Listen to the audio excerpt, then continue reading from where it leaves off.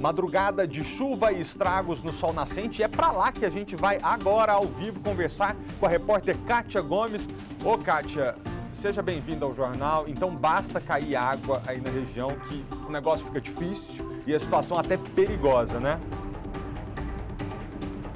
Exatamente, Malta. Só corrigindo uma informação, os moradores acabaram de me falar que essa chuva caiu, na verdade, ontem, 7 horas da noite e não durou mais do que meia hora. E olha só, essa casa aqui onde nós estamos, a lama invadiu e não só essa, várias outras casas aqui da rua também foram invadidas pela lama. Olha só a situação aqui do quintal da casa. Os moradores, Malta, perderam tudo, absolutamente tudo. Geladeira, fogão, colchão. Vou mostrar aqui para vocês. Olha só, licença, a gente vai entrar aqui na casa, pedir pro Magno Serra acompanhar. Vem aqui, eu vou conversar com o Didi, o morador aqui dessa casa, para ele contar pra gente o que, que aconteceu, mas entra aqui. Olha só a situação. Inclusive, a parede aqui rachou. Não foi, Didi? Você não mora, na verdade, nessa casa. Quem mora aqui é a sua, a sua enteada, né? Mas como é que tá a situação aqui? Realmente, desde ontem à noite, vocês estão tentando limpar e não conseguiram? Desesperador. Não tem nada na casa. Acabou tudo. Olha, colchão, sofá, armário, fogão, tudo. Olha aqui dentro. Vou mostrar aqui dentro. Então, olha essa a situação do colchão, malta. Olha aqui, acabou. Esse é um dos colchões, né, é. da casa. Vou mostrar aqui também no quarto. Aqui, olha, Magno, vira aqui para mostrar.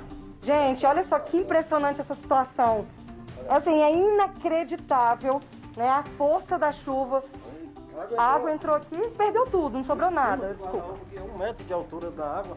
Não, não, tem como aproveitar nada aqui, nada. A gente consegue perceber, inclusive, pela marca da parede, não é? A situação bastante complicada aqui no Sol Nascente. Outras casas também né, foram invadidas pela lama. Os moradores perderam tudo também. Vamos conferir então agora na reportagem. Próximo ao Hospital São Francisco, em Ceilândia Sul, a pista desapareceu com a quantidade de água que chegou até a metade desse carro. O volume da chuva em Ceilândia foi tão grande que invadiu a estação do metrô Guariroba. Esse homem precisou tirar o sapato e levantar a calça. No sol nascente, a lama invadiu a sala, o banheiro e a área de serviço de duas casas. Os moradores perderam praticamente tudo. Uma das casas que aparece no vídeo que foi atingida pela lama, essa daqui. Inclusive, ontem à noite, os moradores precisaram fazer esses buracos aqui no muro. Essas casas, elas ficam atrás do Hospital São Francisco, elas fazem parte do hospital.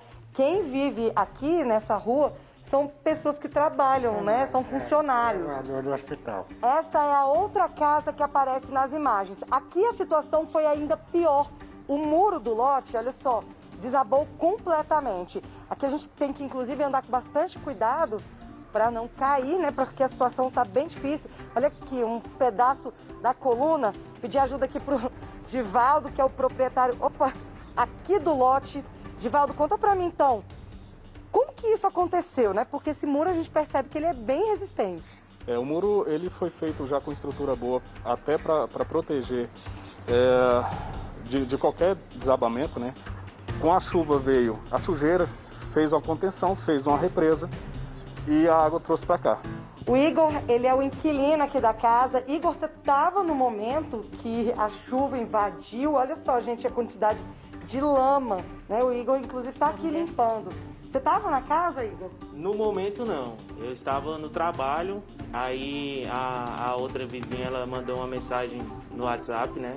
Para um, um, um outro rapaz lá da loja. E aí na hora ela estava desesperada, chorando e que a água tinha entrado. Quando eu cheguei, a água já estava em 20 centímetros mais ou menos, já tinha baixado um bocado, mas subiu um metro, né? Passou a madrugada inteira limpando e mesmo assim ainda não conseguiu, ainda não né? Não, ainda não terminei, ainda falta muita coisa. Nem o Hospital Regional de Taguatinga escapou. Olha a enxurrada tá vindo de lá, olha aqui como é que tá a situação. Em Vicente Pires a situação não foi diferente. Ruas alagadas Meu Deus, que desespero. Você que está vendo essa reportagem aí, mora no Sol Nascente, conhece essas famílias que a gente mostrou, vai lá dar uma força, porque o negócio para eles não tá fácil. O metrô disse pra gente que a estação Guariroba alagou porque teve o transbordamento da água da rua. Eles tiveram que desligar os elevadores e as escadas rolantes e fechar a estação por 22 minutos. Mas depois fizeram a limpeza e liberaram a operação. O Hospital Regional de Taguatinga disse que acionou uma empresa de impermeabilização para o quinto andar e que está tomando as medidas para minimizar os problemas causados pela chuva. A assessoria do Hospital São Francisco informou que os estragos causados nas residências não está diretamente ligado às obras que eles estão fazendo e que, no entanto, o hospital vai prestar auxílio às famílias que foram prejudicadas. A gente tem uma explicação aqui de um meteorologista lá do INMET sobre qual o motivo desses alagamentos que aconteceram tão de repente. Vamos ouvir. Na madrugada desta terça-feira, uma hora da manhã, o volume registrado foi de 14,6 milímetros. Esses 14,6 milímetros representa nada mais do que 14,6 litros de água por metro quadrado. Essa quantidade de água em pouco intervalo de tempo faz com que o solo não consiga absorver a água. Por isso, a gente observa diversos alagamentos. É o tempo que a água tem para infiltrar no solo como esse, é, é, essa água leva um determinado tempo, então a quantidade de chuva em pouco intervalo de tempo acaba provocando alagamentos, como os observados aí nos últimos dias sobre pontos do Distrito Federal. Kátia está com a gente já contigo, Catinha. Manda bala. Oi, Malta, muito triste a situação. Os moradores estão aqui retirando os móveis que estragaram. É muito grande, né? A quantidade de móveis que, que se perdeu aqui com essa chuva. Vou mostrar aqui do outro lado para vocês. Olha só, tem ventilador, mesa, é, tem também sofá, é, geladeira, vários objetos que foram perdidos. Malta, eu vou conversar novamente aqui com o Givaldo, que é o proprietário, porque a Defesa Civil esteve aqui no local, já fez uma análise, a administração também esteve aqui. E qual foi o resultado? O que, que eles falaram? É, a Defesa Civil é, falou que notificou realmente o hospital sobre o que aconteceu. O hospital é, enviou uma equipe para poder refazer o muro.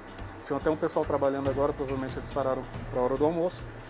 E, e limpar tudo, né? Agora você espera que a situação seja resolvida, né, Givaldo? Sim, não só a reconstrução do muro, a, a reforma do portão, mas a, a, questão da drenagem da água, porque não, há, não existe nenhum tipo de drenagem, de drenagem dessa água e ela vai extravasar para cá de novo se chegar a chover forte novamente. Vamos mostrar aqui para vocês como é que está a situação agora, que na reportagem o muro ainda, já, ainda tinha essa parte aqui, né? Só que eles já derrubaram, eles estão terminando de derrubar o resto que sobrou do muro, na verdade. E aqui tem uma curiosidade que eu queria explicar para vocês. O que, que acontece aqui? Esse muro, ele dividia. Desse lado é Sol Nascente e do outro lado é Ceilândia. Então fica um pouco aí difícil entender quem é que cuida, qual que é a administração. Mas segundo a Defesa Civil, realmente, é, por conta da chuva e da obra que o hospital são Francisco está fazendo, essa água veio com força total. Vou pedir para o Magno mostrar aqui para vocês. Olha só, subir aqui também. Magno, mostra aqui do outro lado. Vocês estão vendo que ali tem uma passagem de água. Então, o que, que aconteceu aqui ontem? No momento que choveu, a água ela veio com força total aqui. Ela ficou de uma altura, assim, você sabe de quantos metros, Divaldo? Não tem noção, mas assim, foi bastante alta. E aí, isso aqui tudo alagou. E aí o que aconteceu? O muro não resistiu e acabou desabando. Então o Hospital São Francisco já se comprometeu a reconstruir esse, número, esse muro aqui, né? Porque a situação realmente é bastante complicada para todos os moradores. Malta, imagina se chove hoje. O que, que eles vão fazer? Não, pois é, e a gente está a dois dias do Natal, né, Kátia? Imagina passar a ceia de Natal numa casa como essa. O hospital tem que assumir essa responsabilidade, construir esse muro. Eu faço um chamamento aqui para que a população, a família do Divaldo, as pessoas prestem solidariedade e ajudem essa família que hoje está vivendo um dia muito difícil. Obrigado a vocês por terem nos recebido e a Kátia pelas informações.